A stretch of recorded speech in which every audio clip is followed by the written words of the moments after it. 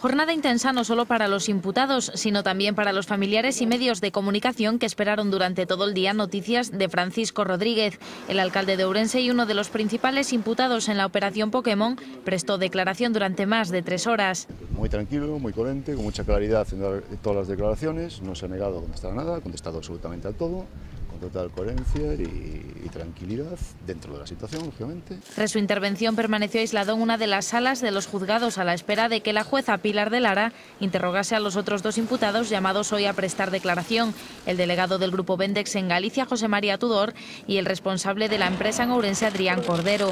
El día para muchos ya se presentaba largo. Pues muy cansados, eh, afectados, eh, dado ya el tiempo transcurrido y confiados en que todo se resuelva esta mañana. Preocupaba también el estado de salud del regidor socialista. Ayer sufrió un fuerte dolor de cabeza que obligó a una ambulancia a desplazarse hasta la comisaría de Pontevedra. De salud, hombre, cansado, lógicamente, pero bien, dentro de la situación de 48 horas incomunicado, pues bien, bien. El caso está todavía bajo secreto de sumario.